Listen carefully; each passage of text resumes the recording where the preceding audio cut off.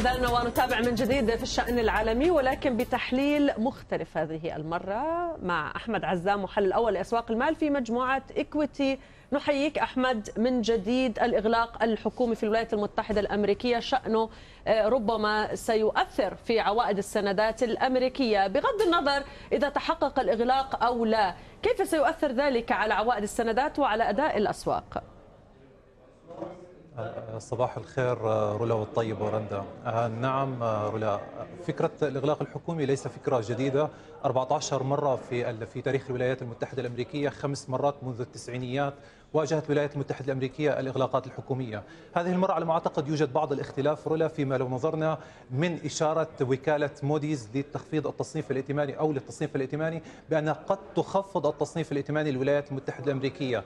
تحديدا سندات الولايات المتحدة الأمريكية تعتبر الأكثر أمانا رولا فيما لو نظرنا لها تاريخيا. فعند الإشارة إلى إمكانية تخفيض التصنيف الائتماني مع الوكالات السابقة التي كانت قد خفضت التصنيف الائتماني فيتش ستاندرد أند بورز أقصد هنا بكل تأكيد أعطت بعض الانطباع على أن إمكانية التهارب من الأسواق السندات مما أعطى عوائد السندات بعض الارتفاعات. نعم فيما لو نظرنا أيضا للتأثير على الأسواق. بكل تأكيد المؤشرات الأمريكية كانت قد سعرت إمكانية الإغلاق الحكومي على ما أعتقد لو اقتبسنا كلام جيرام باول في المؤتمر الأخير إشارة واضحة بأن هناك مخاوف شديدة من الإغلاق الحكومي بتأثيرها على البيانات الاقتصادية بتأثيرها على خروج البيانات الاقتصادية.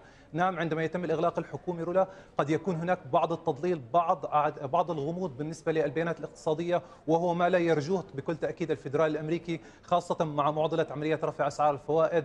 وهنا أود الذكر رولا عوائد السندات لا تستفيد فقط من إمكانية الإغلاق الحكومي لا بل من من نبرة الفدرالي الأمريكي في الفترة القادمة على أن الفوائد المرتفعة قد تستمر لفترة زمنية أطول. فبالتالي المؤشرات الأمريكية تواجه قد قد تواجه التداولات السلبية. عوائد السندات قد تواجه بعض التسجيل الارتفاعات في الفترة القادمة. نعم. على ذكر عوائد السندات الأمريكية التي ترتفع إلى أعلى مستوياتها في 16 عاما يعني هل للموضوع علاقة بما يحدث من تطورات الاقتصاد الأمريكي أم أن الأسعار الأسهم ربما تلعب دور في في ذلك؟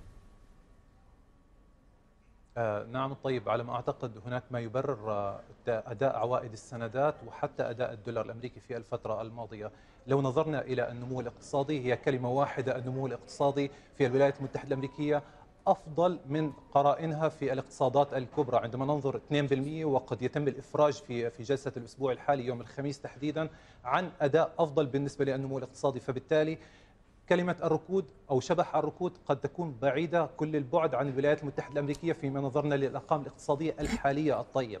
لكن عند مقارنة بالإقتصادات الكبرى أرقام شبه مسطحة بالنسبة للنمو في الاقتصادات مثل بريطانيا الاتحاد الأوروبي. فبالتالي أعطت بعض الانطباع الإيجابي بالنسبة للدولار الأمريكي وأداء الدولار الأمريكي. من ناحية أخرى نبرة إعضاء الأعضاء الفدرالي الأمريكي في هذه الفترة. فيما لو نظرنا كولينز بومان وحتى اليوم كشكاري قد أعطوا إشارات بأن إمكانية رفع أسعار الفائدة لمرة واحدة هذا العام. قد تكون واردة على طاولة الفدرالي الأمريكي وهو ما أعتقد مبرر جدا الطيب عندما ننظر إلى أرقام الاقتصادية الحالية الضغوط التضخمية متواجدة وكلمة الأجور الوحيدة على ما أعتقد قد تضغط في الفترة القادمة ليس فقط على اقتصاد الولايات المتحدة الأمريكية بل على الاقتصادات الأخرى فبالتالي فوائد مرتفعة لفترة زمنية أطول وإمكانية ارتفاعها لفترة لمرة واحدة في نعم. هذا العام قد أعطى وقد يعطي أيضا عوائد السندات لاستمرار الارتفاعات في الفترة القادمة يعني بالنظر إلى معدلات فائدة أعلى قد نشهدها واستمرار تشديد النقد إلى أي مدى فعليا؟ اليوم شهدنا أثره على حتى أسعار النفط مع العلم بأن حتى صناع السياسة النقدية متخوفون من ارتفاع الأسعار ووصولها إلى مستويات ربما قد تتجاوز 120 دولار كذلك. نعم رندا يمكن لحسن الحظ إنه نشوف النفط يسجل بعض الانخفاضات خاصة بتاثيره كل على على أرقام التضخم في الفترة القادمة.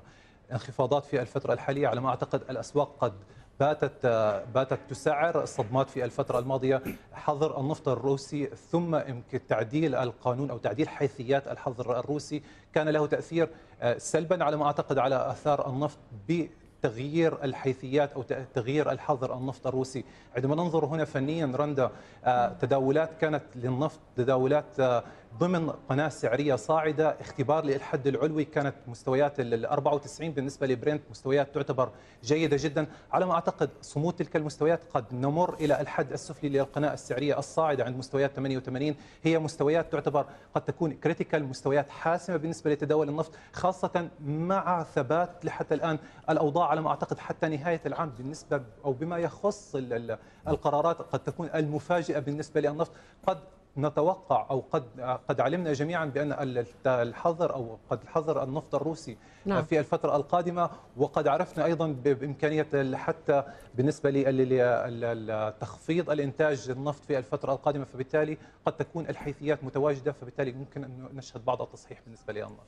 أحمد عزام محلل الأول أسواق المال في مجموعة ايكويتي شكرا جزيلا